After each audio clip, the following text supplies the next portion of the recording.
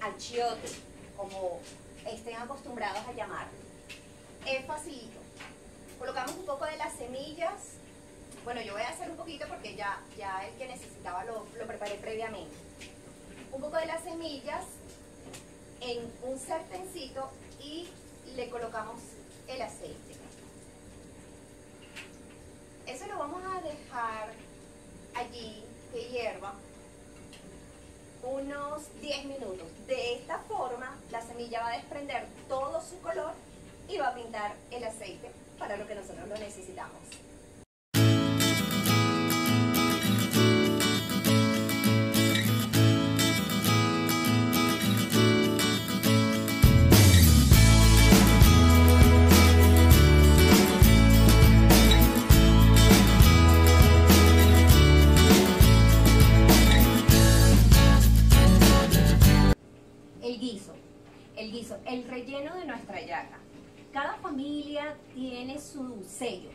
Su, su marca de cómo le gusta hacer el guiso. Claro, ahorita pensamos un poco en el presupuesto y también podemos decir, bueno, lo vamos a hacer solamente de pollo, lo vamos a hacer solamente con un tipo de carne, etc. Es, es gusto de cada quien. Normalmente la yaca que nosotros acostumbramos a comer o la que yo preparo, que es la caraqueña, tiene cuatro tipos de carnes que son carne de res, carne de cerdo, eh, pollo y gallina. Entonces, bueno, es cuestión de ustedes. ¿Qué es, ¿Cómo van a preparar el guiso? Bueno, en un sartén, en una olla, colocan el aceite. Yo les voy a pasar las fotos al final. El aceite unotado eh, o pintado con achiote. Colocan la carne primero, se deja cocinar cierto tiempo. Luego le agregamos eh, los vegetales picados, lo, lo que nosotros llamamos los aliños. Luego el cerdo, después de cierto tiempo que se está cocinando, yo le agrego el cóctel. ¿Y qué es el cóctel? Es ese jugo que preparo con vino, ajo y alcaparras, de manera que eso es lo que me da el gusto así, que yo siento que es full Navidad. Bueno, y además es una forma de esconder la alcaparra, porque a muchas personas no les gusta la alcaparra. Entonces, bueno, le colocan ese jugo, después al final el pollo se cocina unos minutos más y yo particularmente le coloco la, la gallina desmechada como adorno. Algunas personas se la colocan en el guiso, pero bueno, también mm, previamente cocida porque recordemos que la gallina es bien dura. En todo caso, ustedes al guiso le agregan lo que ustedes quieran o la carne que ustedes deseen. Lo importante es que tenga ese saborcito navideño y ese colorcito bonito, porque también este es importante que tenga un color bien bonito. Entonces, bueno, a dedicarse con ese relleno.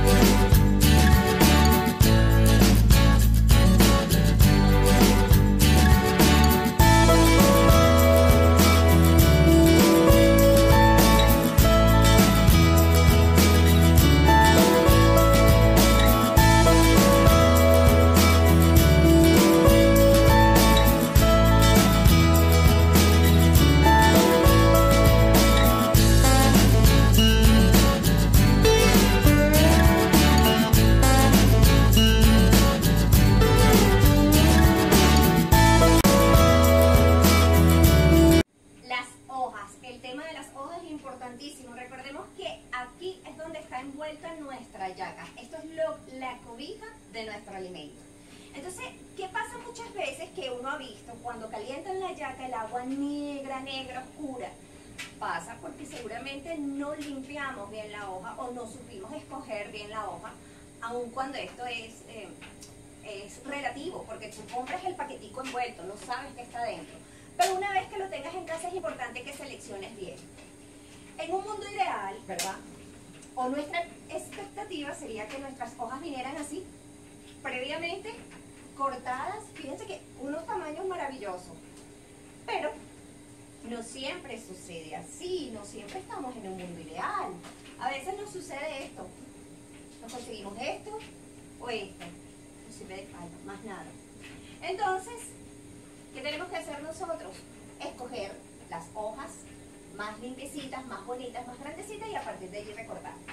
Es importante cortarle la vena, esta vena gruesa, porque fíjense, cuando nosotros vamos a doblar para cerrar, esta vena que es tan gruesa puede romperme la hoja.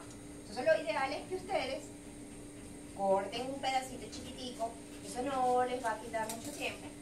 Esto lo desechan y les queda listo. ¿Cómo hago yo? Mira, tengo dos tamaños de hoja, esta y esta. Algunas personas utilizan algo así que los llaman como pañal o paño. Está bien. Yo solamente utilizo dos, dos hojitas, una un poco más grande que la otra y lo que hago es selecciono primero la hoja que esté más ancha y a partir de allí voy a sacar mis, mis hojas grandes. Entonces, con que le des una, aquí, una marcada, ya ella se abre y va sacando. Yo le voy haciendo así porque para que más o menos me queden todas del mismo tamaño. Esto me lo enseñó a hacer mi hermana Carolina que hace manualidades y ella quería cuando me hacía el trabajo de limpiarme y cortarme las hojas. Ella quería que todo estuviese perfecto, ella buscaba una cinta métrica y bueno, yo no, yo lo hago así, le voy dando el 1% cuando tengo 4 o 5 juntas, le quito esta parte gruesa que es la vena y ya me queda listo, así. ¿Ok? Fíjense. Listo. Para los paños pequeños, bueno, tengo, selecciono una hoja que sea un poco más fina, como por ejemplo esta, y saco mis pañitos pequeños. Listo.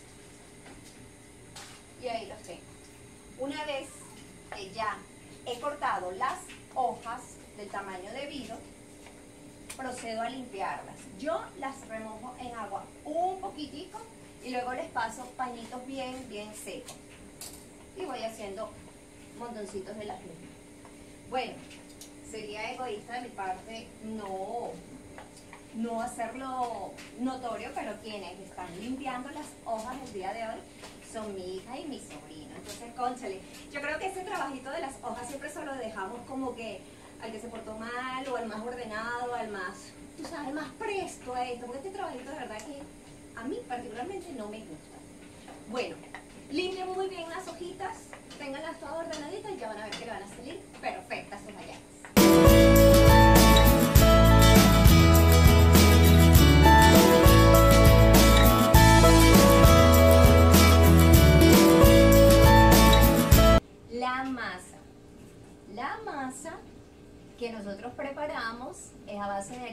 maíz. ¿Cómo la vamos a preparar nosotros? ¿Cómo la he preparado yo? En ese caldo donde cociné la gallina, o si ustedes cocinan el pollo porque le ponen pollito a, a la yaca de decoración, el- con la base de ese caldo es que voy a preparar la masa. A eso le agrego el aceite con onoto, sal y, por supuesto, la harina. Lo mezclo muy bien, lo dejo reposar por lo menos media hora y la consistencia que yo manejo particularmente es esta, que es, no es dura, no hay forma de, de formar una bola con, con esta masa, es más bien eh, suave, bastante suave, por decirlo de alguna forma.